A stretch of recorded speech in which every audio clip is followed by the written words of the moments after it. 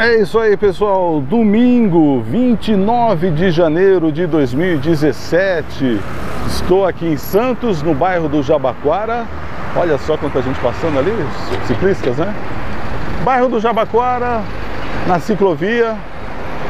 Lembrando que aqui, olha, nesta parte aqui onde eu estou olhando, ficavam, ficava o quilombo do Jabaquara, nas proximidades aqui perto do morro, que foi um reduto dos escravos que fugiam e se alojavam aqui em Santos.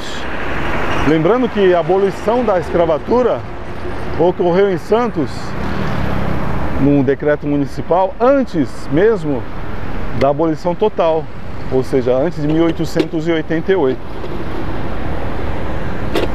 Então ficou esse o quilômetro do Jabaquara é um marco bastante importante aí da luta pela abolição da escravatura. Então estou aqui, como falei para vocês, no bairro do Jabaquara, a ciclovia, Avenida Valdemar Leão. Estou cruzando agora a Avenida Rangel Pestana, que vai até o morro. E lá no final você pode subir o morro. Aqui à direita temos o centro, o CT dos Santos, né? o centro de treinamento Rei Pelé, que é Complexo Modesto Roma. Aqui temos também, olha, nós vamos passar na em frente à Santa Casa. A Santa Casa, durante muitos anos, ela foi no centro de Santos, ali na Avenida São Francisco, bem pegado ao sopé do Monte Serra. Na década finalzinho da década de 1920 e 1930 houve muitos deslizamentos do morro, destruindo instalações do hospital. Então, na década de 1940, o então presidente Getúlio Vargas doou o terreno à Santa Casa, onde eles puderam construir este hospital, na antiga, na chamada é, Esplanada do Jabaquara. Então é um hospital, um dos maiores hospitais do Brasil, ele atende não só Santos, né, como todo o litoral paulista, Vale do Ribeira também. E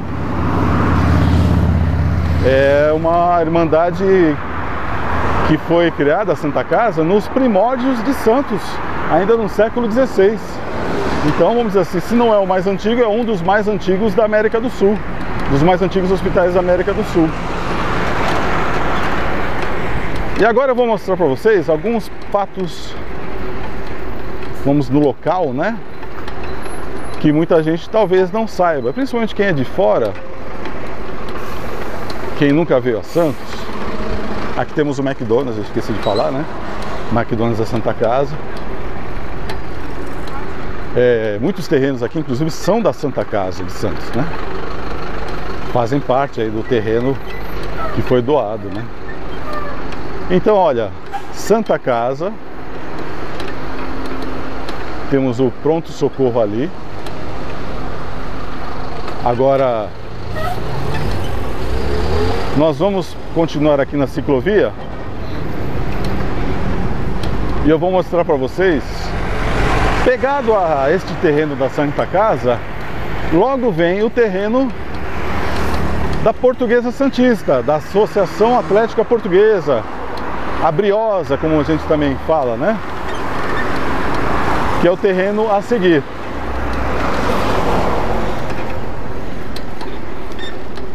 Bem coladinho com os terrenos da Santa Casa. Aqui é um fato pitoresco que eu vou falar para vocês. É... Vamos atravessar aqui com tranquilidade. E eu vou parar ali para falar para vocês uma coisa. É, o Porto de Santos, no comecinho do século XX, ele começou a haver uma grande expansão do porto. E para construir o porto, eles usaram as pedras da do Morro do Jabaquara. Então eles iam lá no fundo, estão nos morros lá na frente, né? Mais ali, vamos dizer assim, atrás do terreno da, da Portuguesa Santista. E havia uma pequena ferroviazinha que levava por terrenos até o Porto de Santos. Então, essas pedras do Morro do Jabaquara eram levadas para uma pequena ferrovia, um trenzinho pequeno de carga. Então ele atravessava terrenos e terrenos se você olhar no mapa, você vai identificar esses terrenos que são praticamente vazios. Agora, ultimamente, eles têm sido ocupados, finalmente, né? Por exemplo, parte do terreno é ocupado pela própria Portuguesa Santista e pelo Clube Portuários. Aqui, olha, o terreno como é da União, foi instalado aqui, construído um prédio da Receita Federal. Exatamente aqui. E esse terreno ele vai indo, foi sendo ocupado por algumas associações. E ele chega até o cais. Até, por exemplo, ali ao lado do colégio, do antigo colégio Docas, onde, por exemplo, hoje tem o terreno da Unifesp, ali na Campus Melo, Silva Jardim. Mas é um terreno que o trenzinho vinha e atravessava aqui. E bem quando o, os canais também estavam sendo construídos, né? O canal 1, que é o primeiro canal de Santos. Então temos aqui, ó, este é o estádio Urico Mursa, que é o estádio da Portuguesa Santista. Eu quero passar aqui, sinal abriu, vamos lá. Mas eu não quero entrar, eu vou, eu vou fazer uma coisa, não existe ciclovia aqui no canal 2. Agora muita gente talvez de fora não sabe que o estádio Urico Mursa ele fica bem pertinho do estádio Urbano Caldeira, que é o estádio do Santos Futebol Clube. Exatamente, porque é só atravessar aqui o canal e a gente vai estar lá. Vou passar lá. Claro que o pessoal fala Vila Belmiro. A Vila Belmiro é o bairro onde justamente está o estádio Urico Mursa. Então o Santos vai jogar na Vila Belmiro, que é o bairro Vila Belmiro, que engloba tudo isso aqui, né? Toda esta área aqui. Incluindo ali, olha, o Hospital da Beneficência Portuguesa. O Hospital da Beneficência, vou entrar aqui, olha. Depois eu vou voltar a falar da Beneficência. Eu vou entrar aqui nesta rua, que justamente é Vamos ver o nome da rua. Não tem aqui, mas é a rua Princesa Isabel, que é o endereço do Santos Futebol Clube. Olha lá, o estádio do Santos Futebol Clube é ali, a Vila Belmiro. Ou, ou seja, o estádio Urbano Caldeira. Nós vamos passar aqui. Inclusive havia a linha de bonde, a linha 27 de bondes que fazia este trajeto aqui. Hoje em dia o asfalto foi coberto, né? Então, coberto, aliás, o asfalto cobriu os trilhos, tiraram os trilhos e tudo mais. Mas as pessoas vinham, usavam muito bonde, claro. No canal 2 existia a linha 17. No canal 1 você podia vir pela linha 19, que não é longe daqui. Aqui, ó. Esses ônibus aqui, se eu não me engano, é da uma linha chamada Conheça São Paulo onde você pode pegar o micro-ondas e passear aí.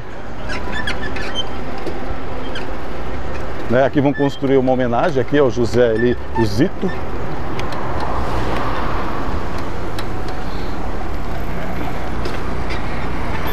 Olha aí. Este é o estádio da Vila Belmiro onde há também você compra os ingressos e há também ali o Memorial das Conquistas. Vocês veem que é bem pertinho, né?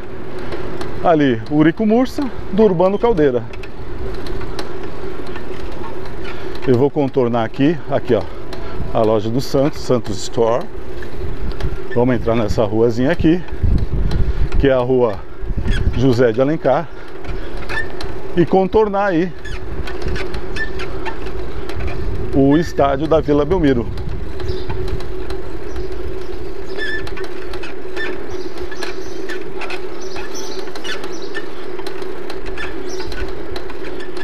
É.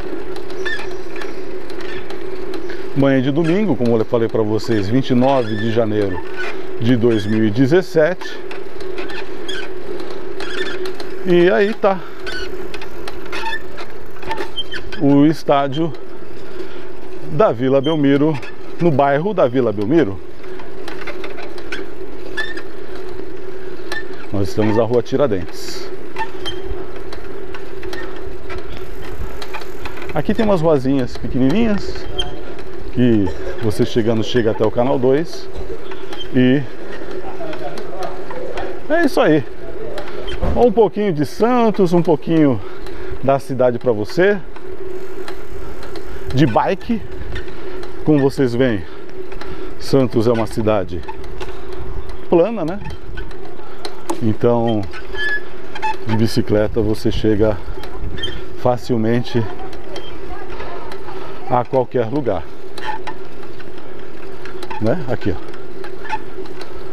O estádio Urbano Caldeira, também conhecida como a vila mais famosa do mundo, a Vila Belmiro. Valeu? É isso aí, pessoal. No próximo Bike Vlog, eu vou falar um pouquinho sobre a beneficência portuguesa, também andando de bicicleta aqui às origens. Valeu?